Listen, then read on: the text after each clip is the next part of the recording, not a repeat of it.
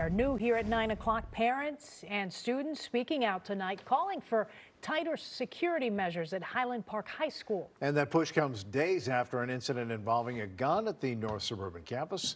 WGN's Jenna Barnes is joining us live from Highland Park with the story tonight. Jenna? Ray and Lourdes, the student was able to bring a gun inside the school and then leave the building before being caught.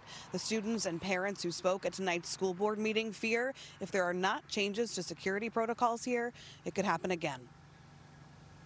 Everyone was freaking out and everyone was just trying to keep each other calm. When I saw squad cars blaring sirens going that way, so I went that way too. Students and their parents recalling the fear they felt one week ago at Highland Park High School after students returned from a planned walkout in memory of the July 4th parade shooting. The school went into lockdown.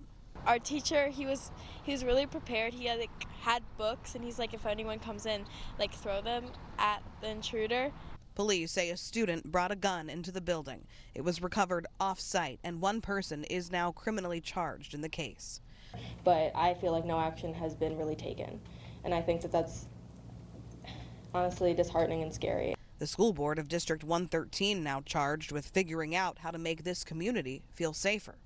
They're scared to go to school. I'm scared to send them to school.